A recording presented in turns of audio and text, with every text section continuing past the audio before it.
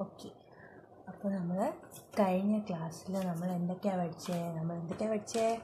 Drawing boards പഠിച്ചു drawing sheet പഠിച്ചു.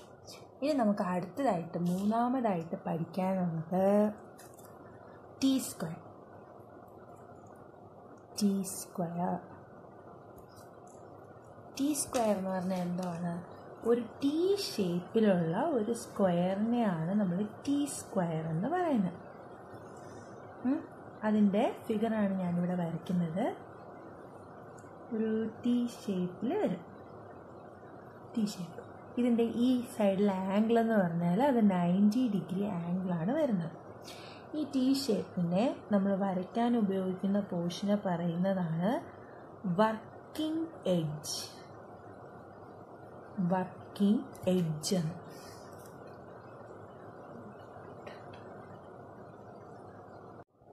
അപ്പോൾ നമ്മൾ വരയ്ക്കാൻ ഉപയോഗിക്കുന്ന പോർഷനെ പറയുന്ന പേരാണ് വർക്കിംഗ് എഡ്ജ് എന്ന് പറയുന്നത്.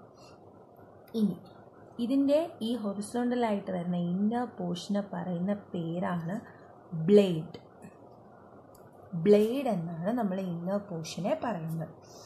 ഇനി ഇതിന്റെ ഈ സൈഡിൽ വെർട്ടിക്കലായിട്ട് വരുന്ന പോർഷനെ പറയുന്ന പേരാണ് സ്റ്റോക്ക് എന്ന് പറയുന്നത്. സ്റ്റോക്ക് എന്ന് പറയുന്നത്. നമ്മുടെ ഈ ടി സ്ക്വയർ ഉണ്ടാക്കുന്നത്. നമ്മൾ ടി സ്ക്വയർ ഉണ്ടാക്കുന്ന മെറ്റീരിയൽ എന്ന് പറഞ്ഞാൽ മഹാഗണിയാണ്.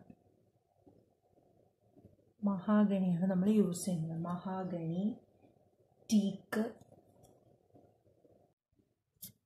ഓക്കെ നമ്മുടെ ടീ സ്ക്വയർ ഉണ്ടാക്കുന്ന മെറ്റീരിയൽ ഏതാണ്? മഹാഗണിയും ടീക്കും മഹാഗണിയും ടീക്കും നമ്മൾ വേറെ എന്തിനൊക്കെ യൂസ് ചെയ്യാറുണ്ട്? നമ്മൾ ഡോർ ഉണ്ടാക്കാൻ വേണ്ടി കഥക് ഉണ്ടാക്കാൻ വേണ്ടിയിട്ട് യൂസ് ചെയ്യാറുണ്ട്. വിൻഡോസ് ഉണ്ടാക്കാൻ വേണ്ടിയിട്ട് യൂസ് ചെയ്യാറുണ്ട്.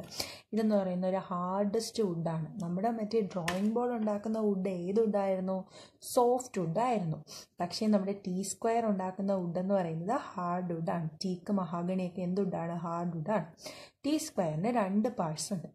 ഏതൊക്കെയാണ്? ലോങ് സ്ട്രിപ്പും ഉണ്ട് ഷോർട്ട് സ്ട്രിപ്പും ഉണ്ട്.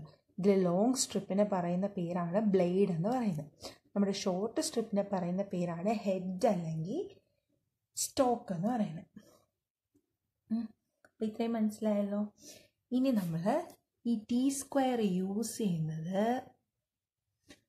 ടി സ്ക്വയർ യൂസ് ചെയ്യുന്ന എന്തിനാണ്?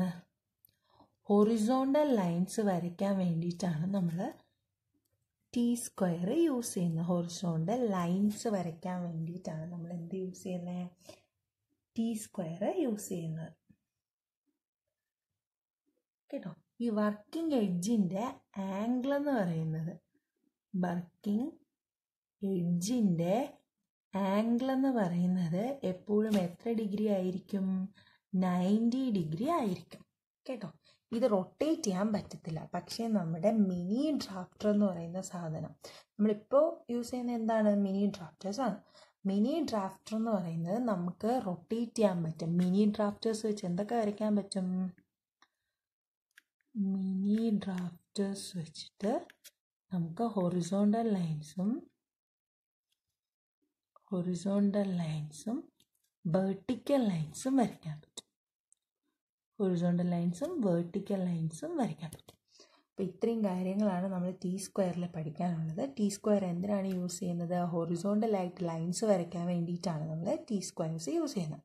ടി സ്ക്വയറിന് രണ്ട് പാർട്സാണ് ഉള്ളത്. ഏതൊക്കെയാണ് ആ പാർട്സ് ലോങ് സ്ട്രിപ്പ് നീളമുള്ള ഭാഗത്തിന് എന്തെന്ന് പറയും? വർക്കിംഗ് എഡ്ജ് എന്ന് പറയും. അതിന്റെ ഷോർട്ടസ്റ്റ് സ്ട്രിപ്പ് അല്ലെങ്കിൽ നീളം കുറഞ്ഞ ഭാഗത്തിന് എന്തെന്ന് പറയും? സ്റ്റോക്ക് അല്ലെങ്കിൽ ഹെഡ് എന്ന് പറയും. ടി സ്ക്വയറിന്റെ ആ ഒരു വർക്കിംഗ് എഡ്ജിൻ സ്റ്റോക്കും തമ്മിലുള്ള ആംഗിൾ എന്ന് പറയുന്നത് എപ്പോഴും നയന്റി ഡിഗ്രി ആയിരിക്കും. ഇത്രയും കാര്യങ്ങളാണ് നമുക്ക് ടി സ്ക്വയറിനകത്ത് പഠിക്കാനുള്ളത്. ഇനി നമുക്ക് അടുത്തത് നോക്കാം. അടുത്ത വരുന്നത് സെറ്റ് സ്ക്വയേഴ്സ് അടുത്തതായിട്ട് പഠിക്കുന്നത് set squares set squares set squares രണ്ട് ടൈപ്പാണുള്ളത്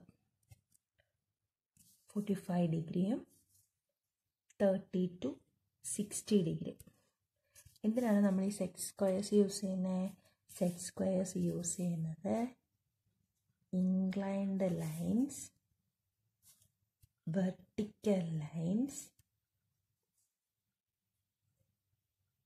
or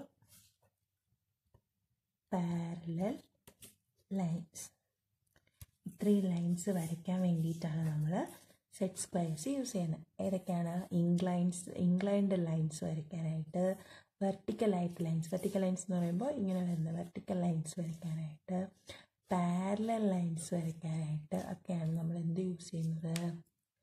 സെറ്റ് സ്ക്വയർസ് യൂസ് ചെയ്യുന്നത് സെറ്റ് സ്ക്വയർസ് എന്ന് പറയുന്നത് multiples of fifteen degree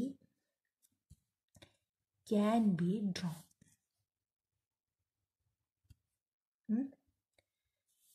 can be drawn with the help of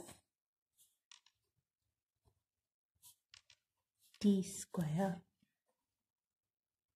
എന്ന് പറഞ്ഞാൽ നമുക്ക് ടി സ്ക്വയറിന്റെ കൂടെ സെറ്റ് സ്ക്വയറും കൂടി കണക്ട് ചെയ്ത് കഴിഞ്ഞാൽ ഫിഫ്റ്റീൻ ഡിഗ്രിയുടെ മൾട്ടിപ്പിൾ ആംഗിൾസ് അതായത് എത്ര ഫിഫ്റ്റീൻ ഡിഗ്രിയുടെ മൾട്ടിപ്പിൾസ് എന്ന് പറയുമ്പോൾ എത്രയൊക്കെയാണ്? Thirty degree angle forty five degree angle sixty degree angle etcetera പതിനഞ്ചിന്റെ മൾട്ടിപ്ലൈസ് ആയിട്ട് വരുന്ന വാല്യൂസിന്റെ ആംഗിൾസ് എല്ലാം നമുക്ക് ഏത് വെച്ച് വരയ്ക്കാൻ പറ്റും? സെറ്റ് സ്ക്വയർ വെച്ച് വരയ്ക്കാൻ പറ്റും. എങ്ങനെയാണ് വരയ്ക്കാൻ പറ്റുന്നത്? നമുക്ക് ടി സ്ക്വയറും കൂടി ഈ സെറ്റ് സ്ക്വയറിലോട്ട് കണക്ട് ചെയ്യുവാണെങ്കിൽ നമുക്കത് രണ്ടും കൂടി വെച്ചിട്ട് വരയ്ക്കാനായിട്ട് പറ്റും.